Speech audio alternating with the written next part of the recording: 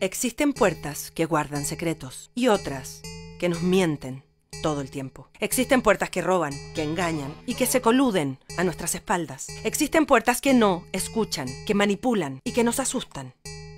Pero también hay puertas que nos reciben. De todas las puertas que existen, visitamos la más importante, la tuya. Hola. Hola, nomás, ¿cuál? Convención Constitucional integrada en su totalidad por miembro elegido por la ciudadanía. Sería lo preciso. Es que realmente para un cambio tendría que ser que apruebo, ¿cierto?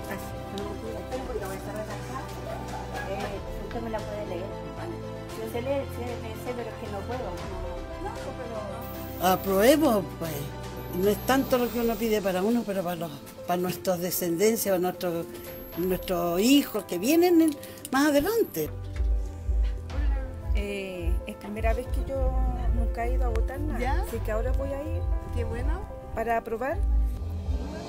Y nos dimos cuenta de que somos muchas y muchos y que este 26 de abril esas puertas volverán a abrirse para votar apruebo y convención constitucional.